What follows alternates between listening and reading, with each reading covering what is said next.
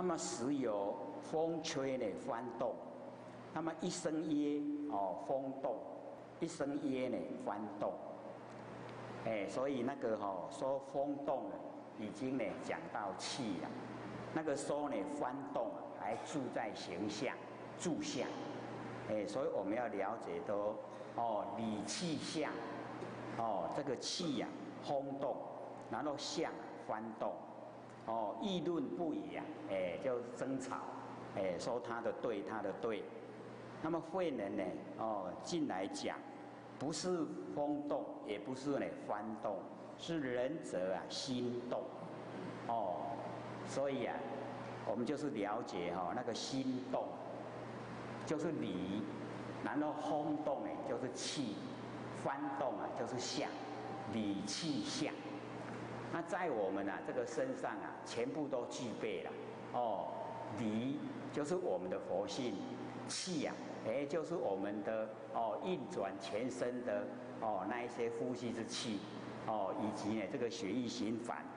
然后呢这个相，哎，就是我们看得见的身体，理气相啊，哎，我们身上全部有了哦。所以我们要了解到这个呢，就全部在我们身上。可是呢，我们假如说呢，住相了以后，在形象上，哦，我们见不到气，也见不到理。各位知道这个意思吗？知不知道？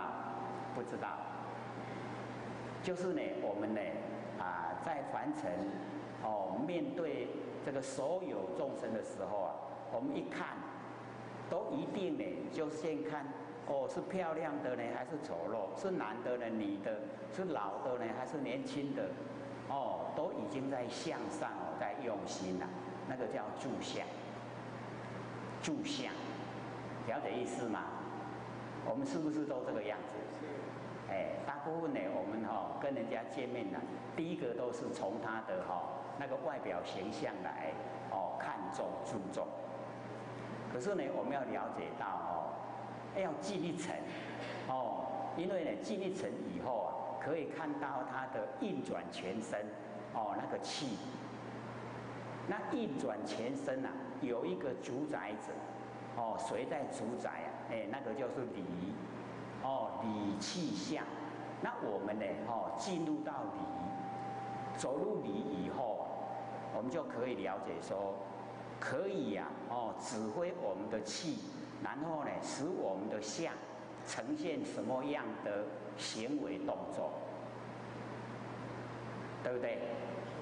哎，我们的哦主宰，哎，刚才我们那个山歌里面哈也有说嘛哈，我们呢都要当主宰，哎，我们自己呢要哦主宰自己，哎，我们呢从哦这个李天来一下来太久了，哎，都呢住相。